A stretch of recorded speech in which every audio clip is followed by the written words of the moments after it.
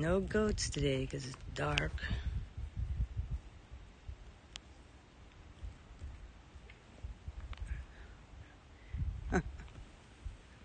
oh well. I don't want to go over there. Run late